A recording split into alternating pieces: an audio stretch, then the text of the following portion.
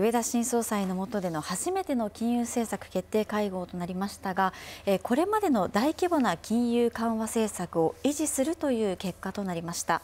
まずはですね山川さんそして井出さんが見る今回の決定会合のポイントをフリップに書いていただきましたので、えこちらから見ていきましょうか。いいですか？はい、それでは一斉にお出しください。はい。はい、えー、山川さん物価見通し。そうですね。そして、えー、井出さんフリーハンドと。いうことです。ちょっとここのその心はというところのお話を伺います。まず井出さんからこのフリーハンドってどういう心でしょうか？ええ、あのまあ、レビューをするんだけれども、はい、その前に政策変更する可能性もあるよと、はい、レビューを待たないよっていうことをはっきりおっしゃってますよね。はい、でその一方でできればもう少し辛抱強く緩和を続けたいとかですね、うん、一体どっちなんだと。まあ、全くこう現地を与えなかった。非常に上手だと思うんです。で、要するによくわからんだとマーケットはなんかもやもやするんですけども、はい上田総裁の今日の雰囲気って私すごく素直で謙虚だなと思ったんですよね。ちょっと自信がないんだっていうような言葉も使ったりとかですね、はい、ですからまあその強弁みたいなものが全くなかったので、うん、マーケットはですね、まあ、フリーハンドになった日銀にとってはフリーハンドなんだけれどもマーケットとしては上田総裁に対する信任を高めたんじゃないかというふうに思っています。なるほど。はいえー、山川さんのこの物価見通しがポイントだということですが、はい、そうですね、はい、まあ、今回のあの会合では展望レポートで、はい、えー、新たな、まあ、3人のです、ね、メンバー、まあ、つまり総裁、副総裁ですけれども、うん、まあ、あのボードに加わることによってですね、えー、CPI の上昇率の見通しが、まあ、どのように変わるのかということが注目されたわけですけれども、はい、まあ、事前のです、ね、報道もいろいろありましたけれども、はいまあ、実際に内容を見るとですね少なくとも2023年度と4年度に関しては情報修正と、うん、いうことで、まあ、2%物価安定目標ですから、はい、まあ、それにかなり接近するような形になっていてですね、うん、まあ、あの当初予想になった2025年度は1.6とまた下がるような形にはなってますけれども、はい、まあ、かなり物価の基調というのはえーまあ、先ほど、あのまあ、正直な発言というようなあの ご指摘がありましたけれども、まあ、確かにあの自信がないとか不確実性が大きいとか、まあ、そういった留保条件につきながらもですねえー、かなり物価安定目標に接近してきていて、はい。はい、おそらく内心ではですね、ええ、かなりの角度で達成できるということをですね、えー、確信を強めつつあるんじゃないかなという感じはしております。なるほど。あの上田さんの、まあ言い方ですけれども達成する可能性も出てきたっていうような言い方でしたよね。はい、ええこれ異例の発言ですよね、今までこういった発言というのは聞かれなかったわけで、はい、まあ、非常に正直にそれをおっしゃったということであれば、まあ、確かに、えー、足元の物価の基調、まあ今日の東京のです、ね、CPI もそうですけれども、まあ、かなり強くなってきているのは事実なので、うんうん、えー、まあ、そこら辺にです、ねまあ、かなりの角度をまあ持たせつつあるということではないかなと思います、うん、なるほど。ただし、今回の政策決定は、まあ、大規模緩和の維持ということになりました、ねえー、まあ、そのような物価見通しに基づいてこれからの金融政策どういうふうにまあ、維持されるのか修正されるのかということですけれども、えー、今日のですね上田さんの会見から読み解いていきたいと思います。はい、えー、上田さんの今日の発言をまとめました。こちらですね、はい、えー、まずレビューについてですが金融緩和策の効果副作用を幅広く点検する。そしてレビュー中でも必要であれば政策変更をすることも排除しない、はい、そして物価についてですが2%だと安心して言えるところには到達していない。さらには、えー、金融緩和はもう少し辛抱して続けたいといった趣旨の発言がありました。はい、確かにこうなんて言うんでしょうか。でどっちかよく分かんないような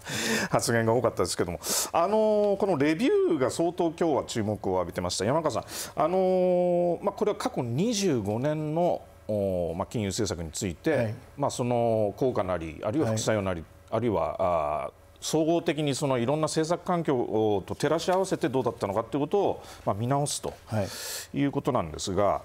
これは、えー、今後の金融政策の修正と結びつくものではないという言い方もいい、まあ、中期的には結びつくかもしれないけれども、はい、そういうことも言いましたで、えー、そのレビュー中でも金融政策の修正もあり得るということもおっしゃったんですがこれこうどう受け止めたらいいですかね？あの先ほど井出さんの方からですねフリーハンドというお話がありましたけれども、はい、まあ、まさにあの政策の自由度というのを確保しながらですね、うん、まあ、ここからの政策どう運営していくのかと、まあ、いうような話だと思うんですね。であのレビューという話になると、うん、まあ、どうしてもですねあの2016年の7月に、まあ、その時は検証という言い方ですけれども、はい、えー、それを指示してでそれを受ける形で、まあ、9月にですね、うん、YCC を導入したと、まあ、いう経緯があるものですから長短金利操作。ですね。はい、えーえー、ですから、まあ、やはりこの検証といった瞬間にですね、まあ、どうしてもマーケットは政策修正期待これを織り込んでしまって、うん、まあ、それが逆にですね日銀の政策自由度を狭めてしまうという悪循環に陥る可能性があるので、うん、まあ、あえてですね対象を非常に長期にとって、はい、えかつ期間も曖昧にして、うん、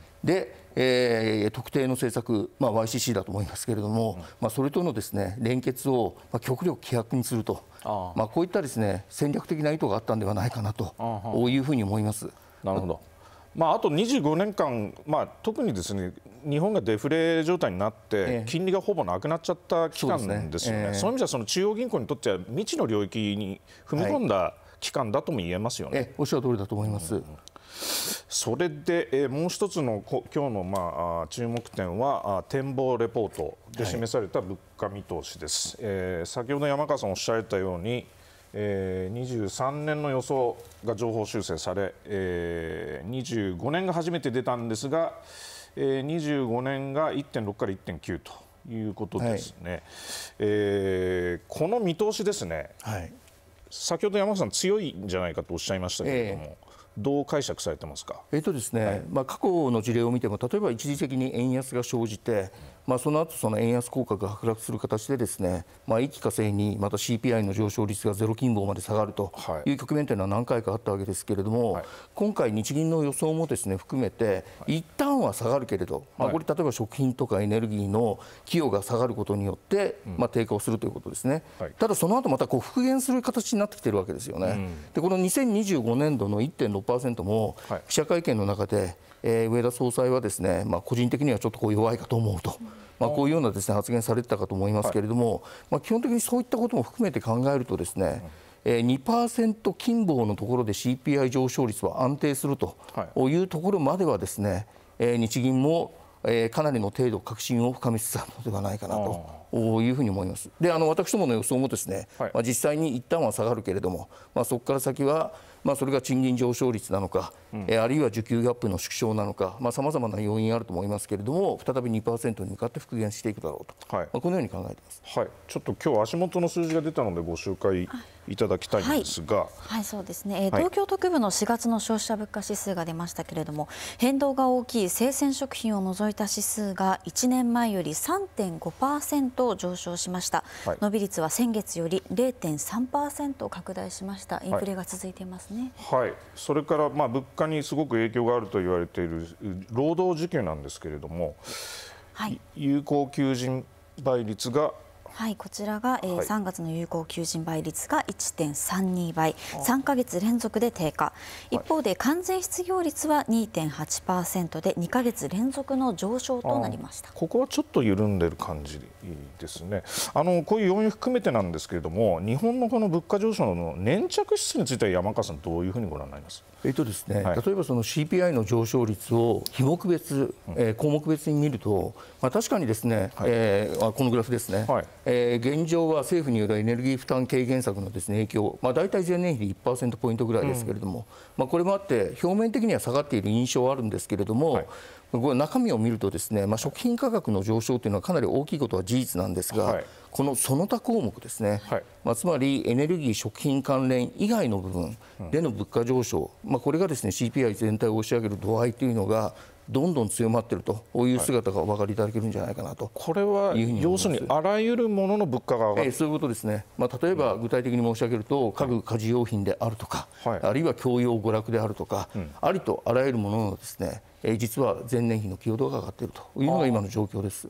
これをまあ解釈すると、まあ、供給制約での物価上昇から、ええ、むしろ需要が結構強いことによるっていうところまで来てるそうですね、まあ、確かに今あのコロナ禍の後のですね、はい、まあ、いわゆるペントアップデマンドと言われる、はい、え待機需要が一気に軽減化していることによってですね需要がえー、通常よりも強いという状態にあるので、うん、まあ、その分が押し上げているということもあると思いますけれども、はい、ただ、着実に物価上昇の裾野は拡大していると、うん、いう評価はできるんだろうと思いますね。なるほどはい、日銀の異次元金融緩和っていうのは、まあ、金利のコントロールとあとまあ資産の購入ですね。あの量的緩和と言われてたものを組み合わせていったわけですがまずその金利のコントロールの方で、えー、一番まあ目立っていたのがイールドカーブコントロール要するに短期金利だけじゃなくて長期金利を国会を大量に変えれることで人工的にコントロールするという政策をやってきたんですがこれがまあ市場を歪めてたという批判が上がってました、えー、山川さん、この先ほどおっしゃった物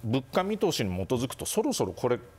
解消してもいいんじゃないかと思えるんですが、あのー、まだ引き締めというところまではですね、はい、えー、まあ、確かにあの上田総裁もおっしゃっていたように、えー、拙速な引き締めによって物価安定目標が達成できないですね。リスクというのが残っているので、はい、まあ、そこまでですね行く必要はないと思いますけれども、少なくとも YCC よりも弊害が少なくて、はい、えー、かつですね持続可能性が高い金融緩和の枠組みを導入するというやり方はあろうかなというふうに思います。うんタイミングとしてはまあ今回は見送ったわけですが、えー、いかがですか、もうそろそろ。あのまだですね、はい、えー、例えば次回の展望レポートが出てくるのが7月会合ですけれども、はい、まあ、その時点で、えー、例えば YCC のですね、うん、えー、まあ、修正といいますか、一部その枠組みを組み替えるというですね選択肢は残っているかなというふうに思いますね。